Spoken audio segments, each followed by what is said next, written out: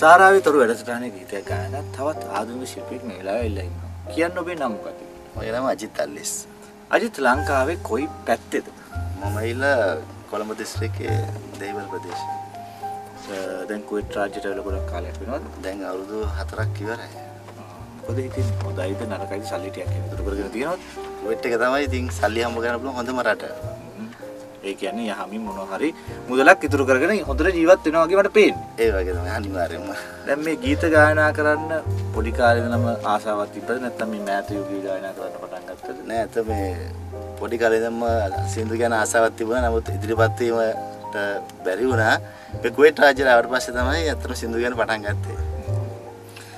දැන් මොකද හිතෙන්නේ මේ සාරාතොලකේ දැන් ගීතයක් ගායනා කරන්න යන්නේ මොකද හිතෙන්නේ? ඇත්තටම කියනවා සන්තෝෂයි. මොකද ජීවිතේ කවදාකවත් ලැබුණ නැති අත්දැකීමක්.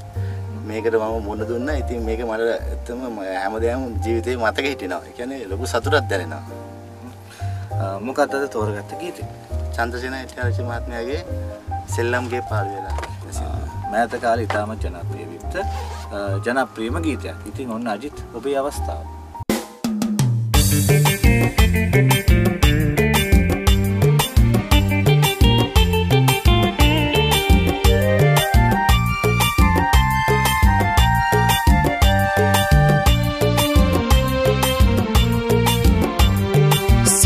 ළම්ගේ පාලු වෙලා බෝනික්කා තරහ වෙලා කෝම්පිට්ටු මාලිගාව කැඩිලා ගිහිල්ලා. ගේත් එක්ක පාලු වෙලා පුංචි පුතානේ. ගේත් එක්ක පාලු වෙලා පුංචි පුතානේ. සෙල්ලම්ගේ පාලු වෙලා බෝනික්කා තරහ වෙලා කෝම්පිට්ටු මාලිගාව කැඩිලා ගිහිල්ලා. ගේත් එක්ක පාලු වෙලා පුංචි පුතානේ. ගේත් එක්ක පාලු වෙලා පුංචි පුතානේ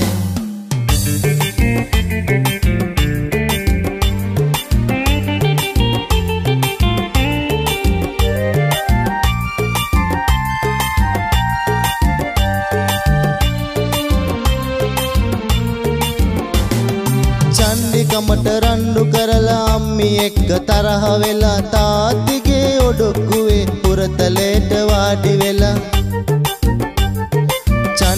චන්ඩිකමට රණ්ඩු කරලා අම්මි එක්ක තරහ වෙලා තාත්තිගේ ඔඩොක්කුවේ පුරතලේට වාඩි වෙලා.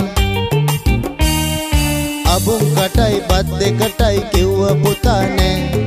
පුංචි පුතා සීයලාගේ ගෙදර ගිහිල්ලා. අබුම් කටයි බත් දෙකටයි කිව්ව පුතා නෑ. පුංචි පුතා සීයලාගේ ගෙදර ගිහිල්ලා. සෙල්ලම්ගේ පාලු වෙලා බෝනික්කා තරහ වෙලා කෝපිට්ටු මාලිගාව කැඩිලා ගිහිල්ලා. ගේත් එක්ක පාලු වෙලා පුංචි පුතානේ. ගේත් එක්ක පාලු වෙලා පුංචි පුතානේ.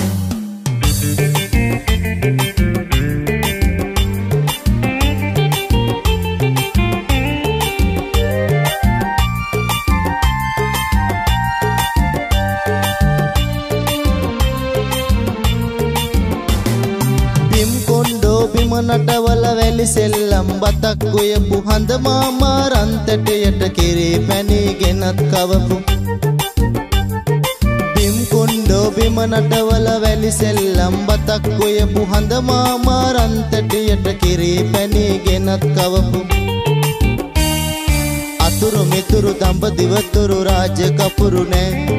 පුංචි පුතා සීයලාගේ ගෙදර ගිහිල්ලා අතුරු මිතුරු දඹදිවතුරු රාජ කපුරුනේ පුංචි පුතා සීයලාගේ ගෙදර ගිහිල්ලා සෙල්ලම්ගේ පාලු වෙලා බෝනික්කා තරහ වෙලා කෝපිට්ටු මාලිගාව කැඩිලා ගිහිල්ලා ගේත් එක්ක පාලු වෙලා පුංචි පුතානේ.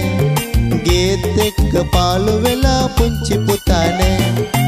සෙල්ලම්ගේ පාලු වෙලා බෝනික්කා තරහ වෙලා කෝපිට්ටු මාලිගාව කැඩිලා ගිහිල්ලා. ගේත් එක්ක පාලු වෙලා පුංචි පුතානේ.